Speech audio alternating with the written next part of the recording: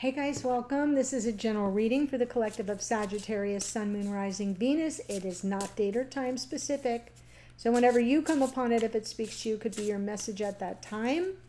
Um, welcome all cross watchers for Sagittarius. And for those of you, of you who are brand new to the channel, I'm glad you stumbled upon me.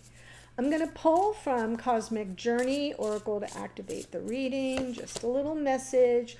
All card 43, 4 and 3 is 7. I love the spirituality. And it says, Your lighthouse guides you home to the stars.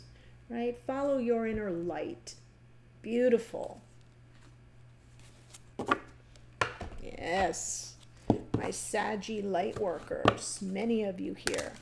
Um, we are in Gemini season, of course. Uh, Venus moved into Gemini right after the full moon in Sag, and Jupiter just moved into Gemini. So we have a new stellium there, a lot of energy building up in that sign. You may want to check your natal chart to see what house that falls in or houses if it's divided, um, what planets or points are there, because lots of positive, uplifting energy, new ideas, abundance, expansion in communication. Feels really good. Um, yes, look at that. Ace of Cups.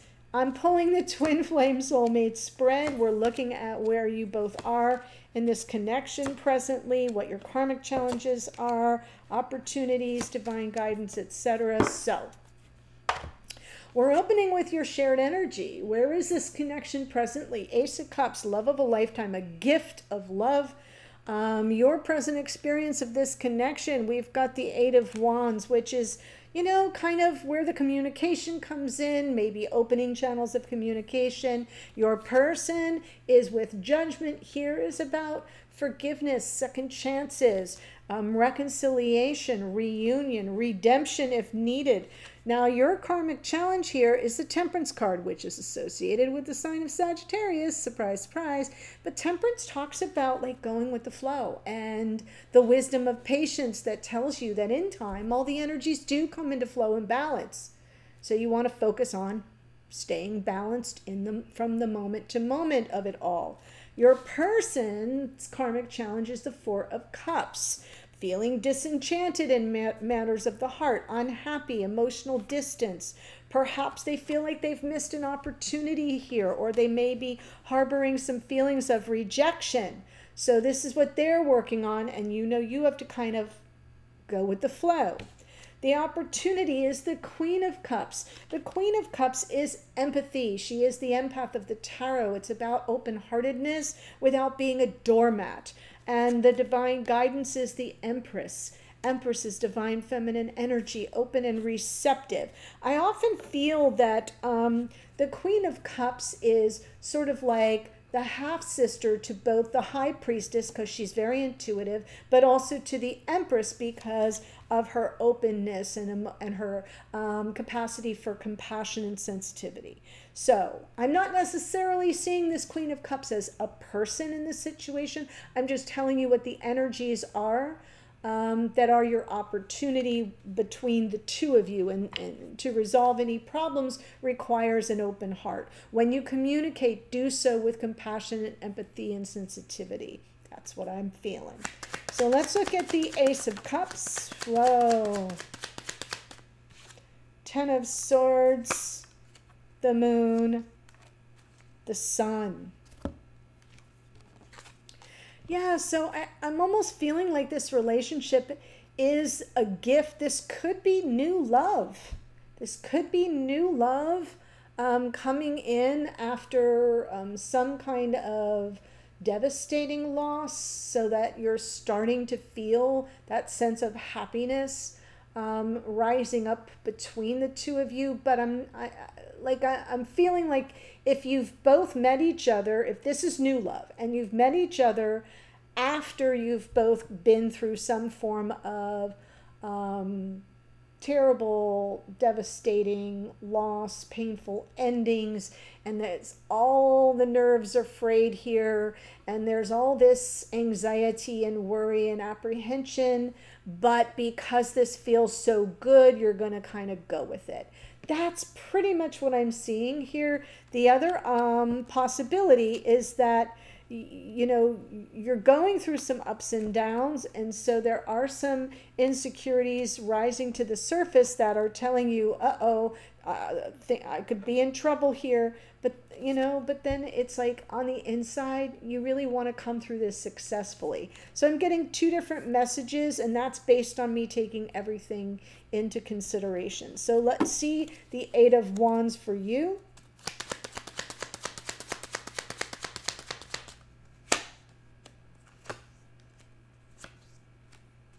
Wow.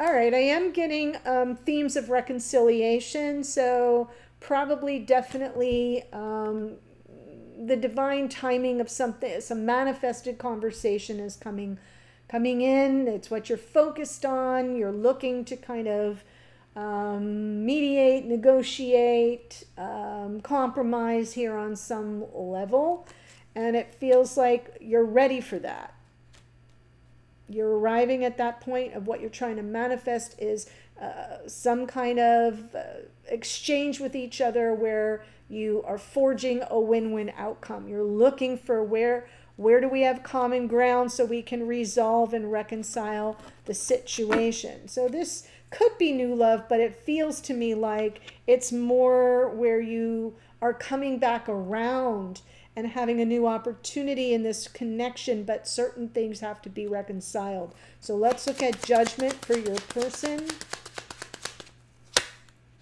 Ace of Swords, Queen of Pentacles, Devil. Wow.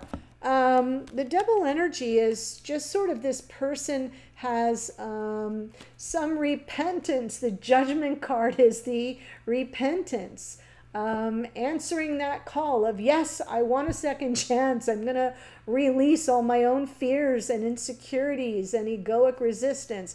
I see things clearly now. I know I want you in my life, is what they're kind of saying. Queen of Pentacles. Um, I know I can count on you. You're solid, you're steady.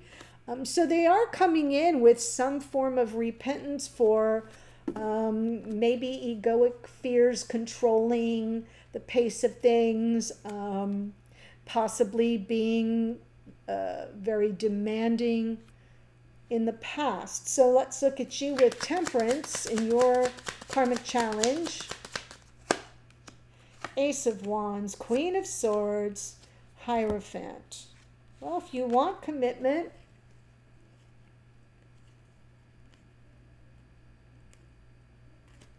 I definitely feel you're after some commitment, and your karmic challenge is about, you know, slowing your roll in the face of an opportunity. The Ace of Wands, aces are gifts from spirit, so that's important to know. But sometimes we can have, um, sometimes we might lack a clear understanding of the timing. And so temperance is coming in with some timing. Saying when the time is right, you know, like just bide your time, stay in that energy of flow and balance, and keep your eyes sharp for when the time to take some action um, is is appropriate because it's if you're talking about something long term or more committed, which I'm getting a flavor around that, um, you know, you kind of have to go with the flow here. So, in other words, the Ace of Wands is to you that moment where the inspiration rises up and you're very quick to take action. And your karmic challenge is to pull back on that and go, whoa. It's all about self control and restraint when you see temperance. And so there's this need for some clarity around that for yourself. Um, the Queen of Swords is very level headed, very pragmatic, checks her impulses and emotions at the door. Um, she is associated with the sign of Libra, so it is again about balance. Let's look at your person's karmic challenge with the Four of Cups. Wow. Four of Swords, High Priestess, Empress. Well, now the Empress is out twice.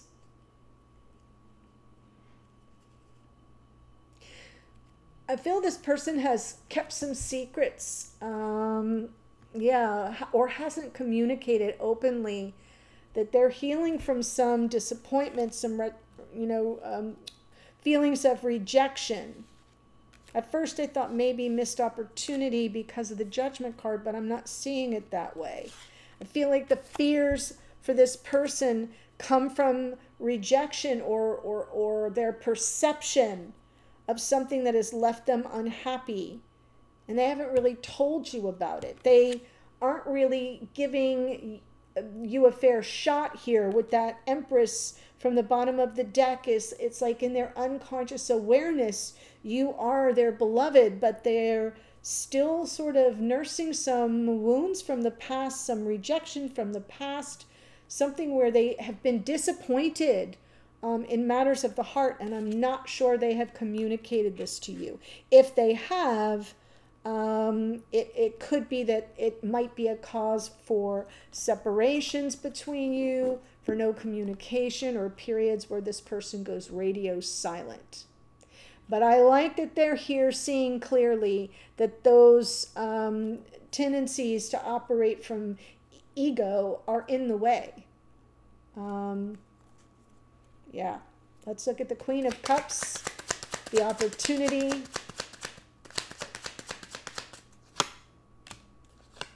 compassion, for the worry, for, yeah, this is um, each of you sort of coming to terms, you know, coming from um, your softer side, both of you. I feel like the opportunity is to understand that there is a, a, there are a lot of moving pieces here, and mostly within your respective minds.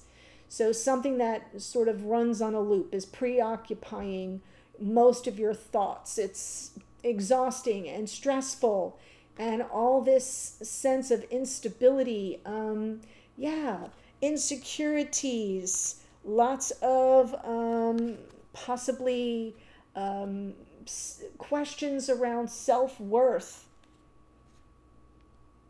So the opportunity is to be sensitive and compassionate uh, because this is something you're both struggling with. And I definitely feel it's both of you. And maybe there have been painful endings before between you, so that we, you know, the Ace of Cups is like a renewal of this love and the happiness it could bring. But we haven't dealt with the elephant in the room of um, disappointments, hurt feelings, um, worries, anxieties, issues around self worth and self esteem, or if you feel like there are themes around abandonment, rejection, are here as well. So the Empress is divine guidance.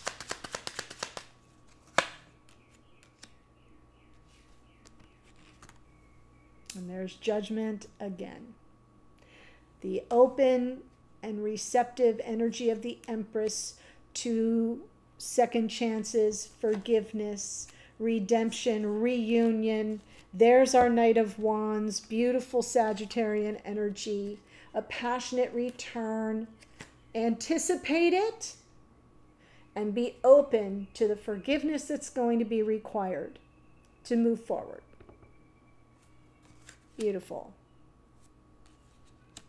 So I do feel like this person um, has probably taken some things way more personally um, than they likely should have. But there's something, and, th- and they kind of have to work through that and heal that, and that they may not be talking about it. Okay, but they know that they want a second chance here. They're seeing very clearly um, that they want, you know, want you in their life here in um, this incarnation at this present moment, and they're sort of apologizing for that part of themselves that goes to dark places and that can get controlling um, and or you know sort of restrictive and restricted even. You're all about let's move forward here um, let's get to the part where we you know, compromise and and negotiate what it is we see for the future. you're all into that and there and so your your problem is you kind of got to exercise the self-control and restraint because you're ready right now um, eh, but the theme is of commitment and is of moving this relationship forward and in order to do that we kind of have to go back to the drawing board and um, repair whatever there was a misunderstanding about or any kind of pain, a residual pain. Yes, we're moving past it, but if there's lingering fears, worries, doubts, um, they have to be dealt with. So be open to that. This is very interesting. It's um, kind of a nice twist for you here, Sag. Uh, what I'm going to do is give you the astrology and then I'm going to take it to the extended and I want to see what's really going on with this person. So um, I we already have their opening energy, their present energy is um, judgment. So we have that, but let's see what they're processing, what they're working through, how they see things, um, how they see you, what their intentions are, what are the hidden energies that you can't see, but might be helpful to know, um, what's their message for you. So that's what we're going to do in the extended, and the links to those are in the description box below. Um, if you find the readings helpful, please, by all means, subscribe to this channel and that allows me to continue bringing you messages um, such as these. All right, we're going to open here with the moon is Pisces, the sun is Leo. We have the magician is Mercury, which uh, rules Virgo and Gemini. Jupiter here, which rules Sagittarius in the Wheel of Fortune. Um, judgment is here twice. That is Pluto, which rules Scorpio. Queen of Pentacles is Capricorn, as is the devil enter the devil is also associated with Capricorn. Temperance is the higher octave of Sagittarius. I love that. We have the Queen of Swords is Libra, and um, the Hierophant is Taurus. We've got the High Priestess, more Pisces. Empress is out twice. That's Venus, uh, which rules Taurus and Libra. Queen of Cups is Cancerian energy. Um, and we have the Knight of Wands is Sagittarian energy. That is what I have for you. Yes, I'm going to head to the extended now. I'll see you there in a second. Thanks for joining me. Bye for now.